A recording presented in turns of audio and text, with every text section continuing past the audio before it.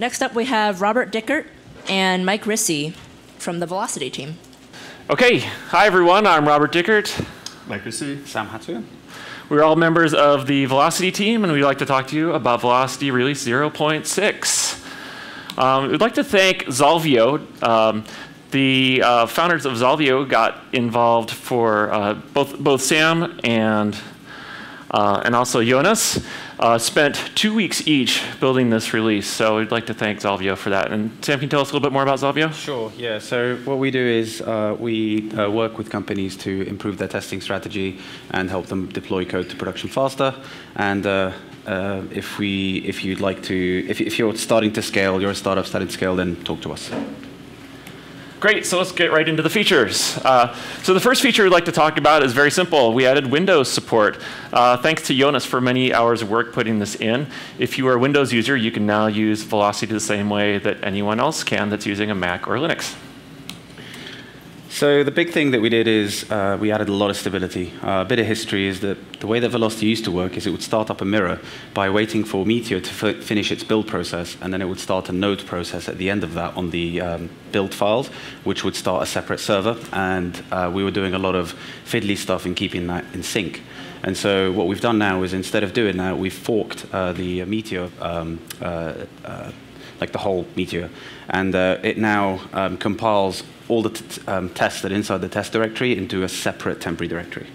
Um, and so in doing that, we use the rock-solid features of Meteor to, uh, to be stable. And the other thing is that the, um, the, the way that you start the mirrors now is the same as the test packages. Um, what that means is uh, we, how does it work again? Uh, so you basically have uh, a long-running process that runs side by side with uh, your normal Meteor dev app um, and you're not constantly restarting the process, which led to a lot of stability problems in the past. That's right. Um, a smaller feature, but one that's like pretty interesting in this release, is uh, supporting Meteor Debug. Uh, quick poll: How many of you have used Meteor Debug with your app? So that's not nearly enough. It's an awesome feature. Um, you should all check it out, and uh, it lets you use the developer tools with server-side code. Uh, I want to give you a quick demo of what that looks like with uh, velocity.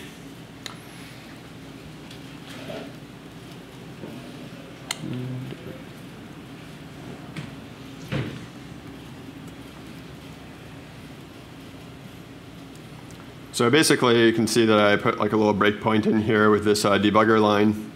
And even though it looks like it's, uh, I'm just looking at client code, if I type something like Meteor is server, it's true, and I'm able to interact with the server code here. So check out Meteor Debug, it's awesome.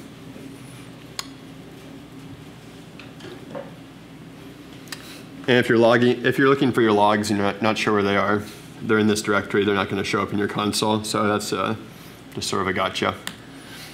Okay, this is a list of frameworks that are supporting 0.6 right now. Uh, the thing of note is that we now support package testing for Jasmine and Mocha. So if you've been using TinyTest to test your packages and you'd rather use the Jasmine or Mocha syntax, uh, now is a great chance to give it a try.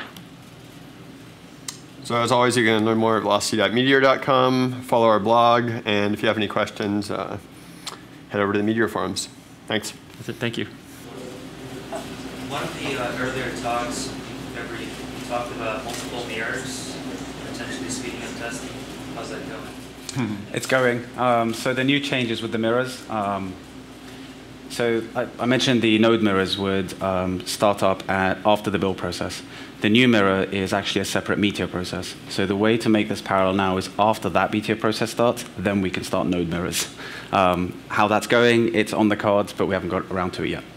Uh, Soon. Just a little background for everyone else that didn't see that talk. Uh, we showed something a while ago where we were running like a huge number of uh, Meteor processes at the same time, and that allowed you to parallelize an end-to-end test suite. So you had a suite that ran in 80 seconds, it ran in two seconds. All right, any other questions? Thanks very much.